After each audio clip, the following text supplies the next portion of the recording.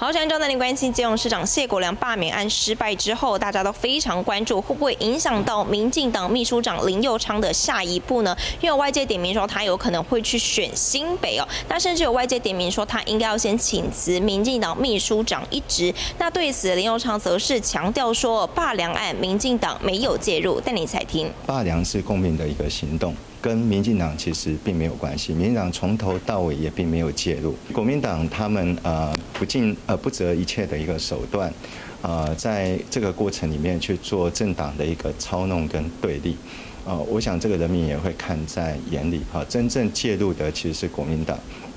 那当然呃我刚刚在节目上面其实也有说，呃其实这个背后可能不只是顾良，其实可能更重要的可能是顾朱。